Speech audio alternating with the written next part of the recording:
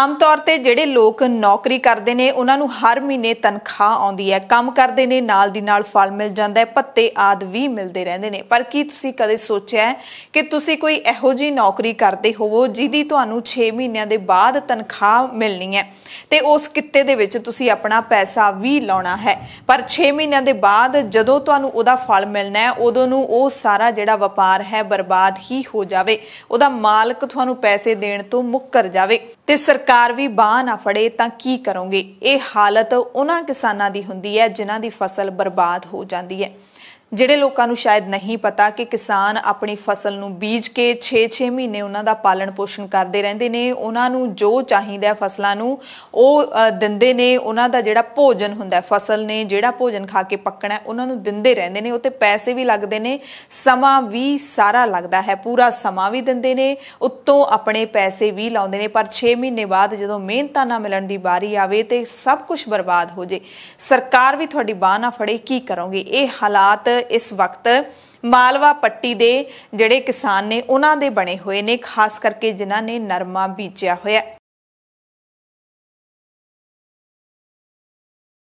ਗੁਲਾਬੀ ਸੁੰਡੀ ਨੇ ਮਾਲਵਾ ਪੱਟੀ ਦੇ ਵਿੱਚ ਕਿਸਾਨਾਂ ਦੀ ਹਜ਼ਾਰਾਂ ਏਕੜ ਨਰਮੇ ਦੀ ਫਸਲ ਬਰਬਾਦ ਕਰ ਦਿੱਤੀ ਹੈ। ਗੁਲਾਬੀ ਸੁੰਡੀ ਆਖਿਰਕਾਰ ਹੈ ਕਿ, ਉਹ ਅਸੀਂ ਤੁਹਾਨੂੰ ਦੱਸਦੇ ਹਾਂ।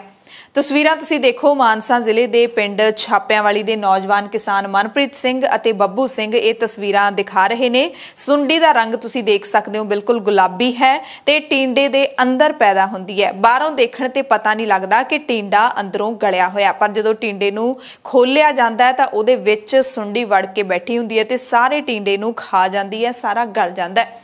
ਮਾਨਸਾ ਜ਼ਿਲ੍ਹੇ ਦੇ ਕਈ ਪਿੰਡਾਂ ਦੀ ਜਿਹੜੀ ਹਜ਼ਾਰਾਂ ਏਕੜ ਨਰਮੇ ਦੀ ਫਸਲ ਹੈ, ਉਹ ਬਰਬਾਦ ਹੋ ਗਈ ਹੈ। ਇਸ ਸੁੰਡੀ ਕਰਕੇ ਇੱਕ ਮਹੀਨਾ ਪਹਿਲਾਂ ਦੇ ਜੇ ਹਾਲਾਤ ਦੇਖ ਲਈਏ ਤਾਂ ਇਸ ਵਾਰੀ ਨਰਮਾ ਪੱਟੀ ਵਾਲੇ ਕਿਸਾਨਾਂ ਦੇ ਚਿਹਰੇ ਖਿੜੇ ਹੋਏ ਸੀ, ਕਿਉਂਕਿ ਨਰਮੇ ਦੀ ਜਿਹੜੀ ਫਸਲ ਸੀ, ਉਸਨੇ ਫਲ ਬਹੁਤ ਦਿੱਤਾ ਸੀ, ਪਰ ਉਹ ਫਲ ਹੁਣ ਖਰਾਬ ਹੋ ਗਿਆ ਤੇ ਅੱਜ ਇਹ ਹਾਲਾਤ ਬਣ ਗਏ ਨੇ ਕਿ ਕਿਸਾਨ ਆਪਣੀਆਂ ਫਸਲਾਂ ਵਾਉਣ ਨੂੰ ਮਜਬੂਰ ਹੋ ਗਏ ਨੇ। ਅਲਵਾ ਪੱਟੀ ਦੇ ਕਿਸਾਨਾਂ ਦਾ ਚਿੱਟਾ ਸੋਨਾ ਜਿਹੜਾ ਉਹ ਪੂਰੀ ਤਰ੍ਹਾਂ ਦੇ ਨਾਲ ਬਰਬਾਦ ਹੋ ਰਿਹਾ ਹੈ ਤੇ ਇਸ ਵਾਰੀ ਤਾਂ ਕਿਸਾਨ ਨੂੰ ਕੀਤਾ ਹੋਇਆ ਖਰਚਾ ਵੀ ਮੁੜਦਾ ਨਜ਼ਰ ਨਹੀਂ ਆ ਰਿਹਾ। ਮਾਨਸਾ ਜ਼ਿਲ੍ਹੇ ਦੇ ਹੀ ਪਿੰਡ ਭੰਮੇ ਖੁਰਦ ਦੇ ਕਿਸਾਨਾਂ ਨੇ ਆਪਣੀਆਂ ਫਸਲਾਂ ਵਾਹ ਦਿੱਤੀਆਂ ਨੇ। ਗੁਰਚਰਨ ਸਿੰਘ ਨੇ ਸੁੰਡੀ ਨਾਲ ਬਰਬਾਦ ਹੋਈ।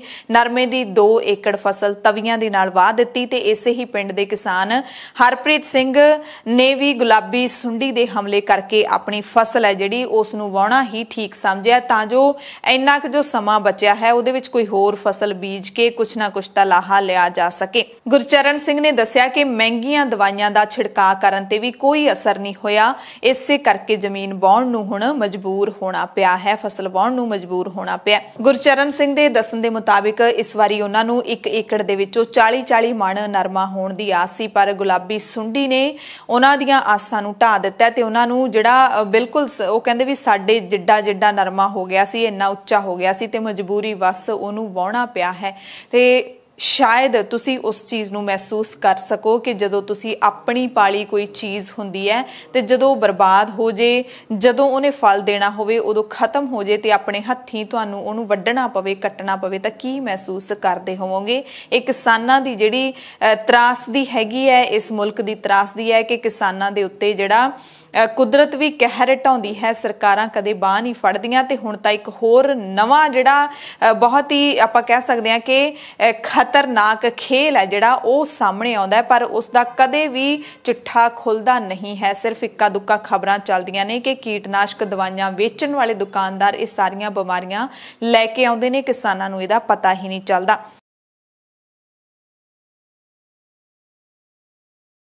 ਭਾਰਤੀ ਕਿਸਾਨ ਯੂਨੀਅਨ ਏਕਤਾ ਉਗਰਾਹਾਂ ਨੇ 30 ਸਤੰਬਰ ਤੋਂ ਧਰਨੇ ਲਾਉਣ ਦਾ ਐਲਾਨ ਕੀਤਾ ਹੈ। ਉਗਰਾਹਾਂ ਦੇ ਜ਼ਿਲ੍ਹਾ ਪ੍ਰਧਾਨ ਨੇ ਰਾਮ ਸਿੰਘ ਭੈਣੀ ਬਾਗਾ, ਉਹਨਾਂ ਨੇ ਦੱਸਿਆ ਕਿ ਗੁਲਾਬੀ ਸੁੰਡੀ ਤੋਂ ਅੱਕ ਕੇ ਹੋਰ ਵੀ ਪਿੰਡ ਨੇ ਭੰਮੇ ਖੁਰਦ, ਢਿੰਗੜ, ਬਹਿਣੀਵਾਲ, ਕੁਸਲਾ, ਇੱਥੇ ਵੀ ਕਿਸਾਨਾਂ ਨੇ 1 1 2 2 5 5 ਕਿੱਲੇ ਨੇ ਜਿਹੜੇ ਉਹ ਆਪਣੇ ਵਾਹ ਦਿੱਤੇ ਨੇ। ਤੇ ਜੇਕਰ ਅਗਲੇ ਦਿਨਾਂ ਦੇ ਵਿੱਚ ਵੀ ਗੁਲਾਬੀ ਸੁੰਡੀ ਦਾ ਹਮਲਾ ਨਾ ਰੁਕਿਆ, ਤਾਂ ਪਤਾ ਨਹੀਂ ਕਿੰਨੇ ਕਿਸਾਨਾਂ ਨੂੰ ਆਪਣੀ ਸਾਰੀ ਫਸਲ ਹੈ ਜਿਹੜੀ ਉਹ ਵਾਉਣੀ ਪੈ ਜਾਵੇ। ਤੇ ਜਥੇਬੰਦੀ ਨੇ ਇਹ ਕਿਹਾ ਹੈ ਪ੍ਰਸ਼ਾਸਨ ਨੂੰ ਕਿ ਸਾਰੇ ਕਿਸਾਨਾਂ ਦੀਆਂ ਜ਼ਮੀਨਾਂ ਦੀ ਗਿਰਦੌਰੀ ਕਰਕੇ ਮੁਆਵਜ਼ਾ ਦਿੱਤਾ ਜਾਵੇ।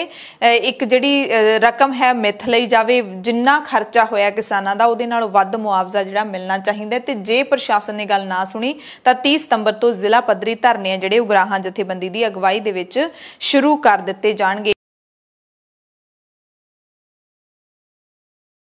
ਹਰਸਿਮਰਤ ਕੌਰ ਬਾਦਲ, ਸਾਬਕਾ ਕੇਂਦਰੀ ਮੰਤਰੀ, ਉਸਨੇ ਵੀ ਮੰਗ ਕੀਤੀ ਹੈ ਕਿ ਕਿਸਾਨਾਂ ਨੂੰ ਜਿ- ਜਿਨ੍ਹਾਂ ਦੀ ਫਸਲ ਬਰਬਾਦ ਹੋ ਗਈ ਹੈ, ਉਹਨਾਂ ਨੂੰ 20000 ਰੁਪਏ ਪ੍ਰਤੀ ਏਕੜ ਮੁਆਵਜ਼ਾ ਜਿਹੜਾ ਉਹ ਦਿੱਤਾ ਜਾਣਾ ਚਾਹੀਦਾ ਹੈ।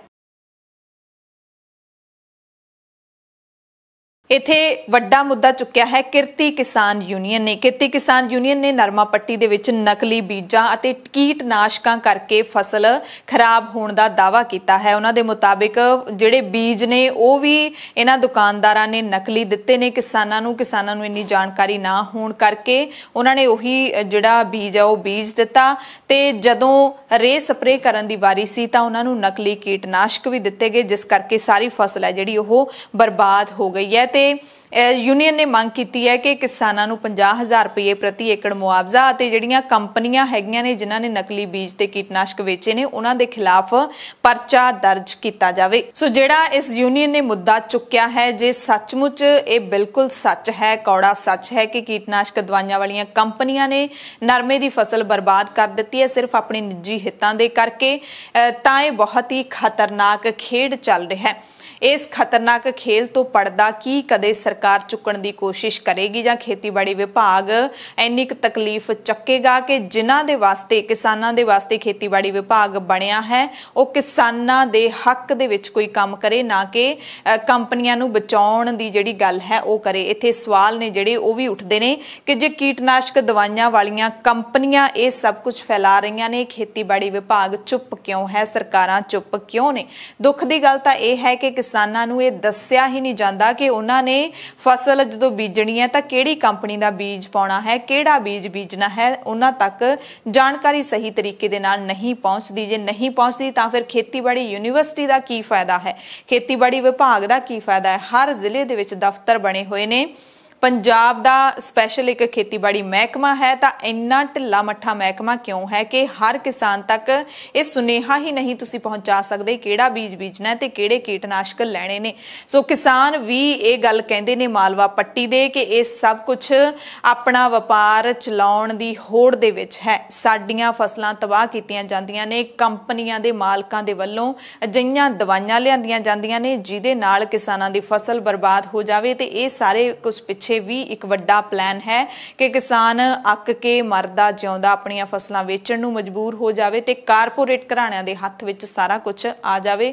ਇਸੇ ਕਰਕੇ ਕਿਸਾਨ ਲੜ ਰਹੇ ਨੇ। ਧੰਨਵਾਦ।